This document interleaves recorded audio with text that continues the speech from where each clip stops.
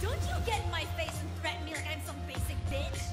Leave Mahiru alone and we don't have a problem. Newsflash. I'm sorry, I need I'll to get back whatever there. the hell I want. What are you gonna do? Stick one of your Yakuza flunkies on Please, me? Sato, don't do this.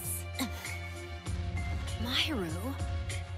Well, well, we were just talking about you. I can't imagine why an elite from the main course would come down here.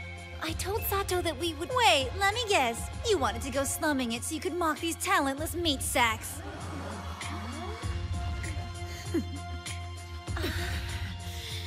Hey, come on! Enough already!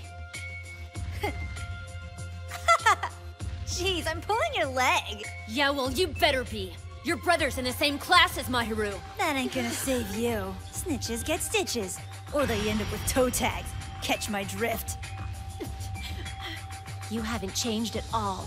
Oh, get off your high horse, you simpering dish rag. You're the same goody-goody little twit you were back in photography club.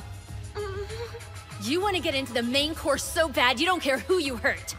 How stupid are you? The main course didn't offer you a spot because you're not special. Get that through your head already. Stop acting like such a bitch. You're no better than anyone else. What did you call me? Please, just drop it!